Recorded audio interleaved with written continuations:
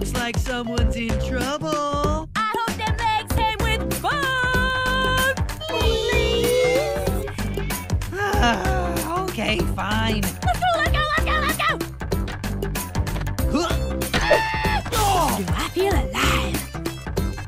Check me out, Marco! I need someone who can wrangle you imbeciles. Like Mexican horchata isn't supposed to have dairy in it. I'm a magical princess from dimension. I need to talk to Princess Cuckoo Pants. He's the best turd I've ever known. What? No, no, no. Let's party! I love puppies!